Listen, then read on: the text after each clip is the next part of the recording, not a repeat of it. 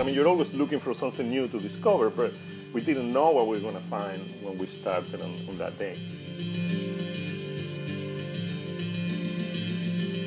Most of our dives are pretty routine. You know, you just keep finding more tunnels and more tunnels. But every time you get lucky and, and you run into these discoveries that have been trapped there for thousands of years. You just pop up into this huge void. It's like you enter the Grand Canyon from the side at night. Everywhere you point your light, there were animal remains, there were human remains. Ah.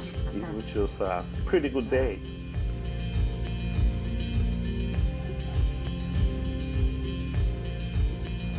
Eventually, my friend pointed his light to this cranium. And all of a sudden, we discover the most complete and the oldest human remain found on the America.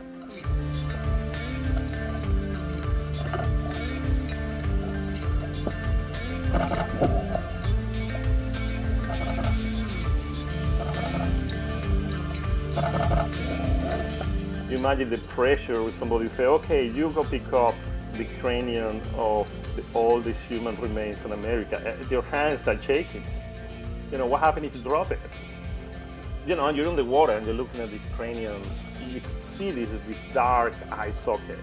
I have this feeling these eyes have not seen anything since thousands of years ago. You're kind of traveling back in time.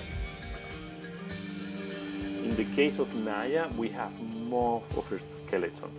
The more amazing thing is that you still have intact DNA that researchers can extract from. So that helps you figure out the migration history from humans into the America.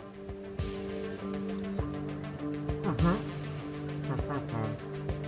Mm-hmm.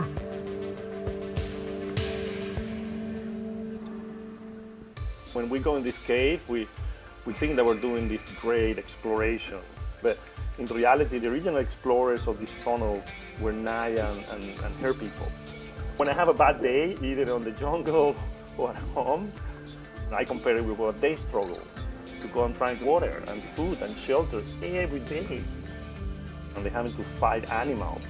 You know, they, they have the saber-toothed cat. So for me, it's easier. If I have a problem, I just think about them and like, oh, my problem is it's not very big. Hoyo Negro and Naya are the star of this project, and we all work to bring their stories to life so we understand a little bit better about where do we come from. Mm-hmm.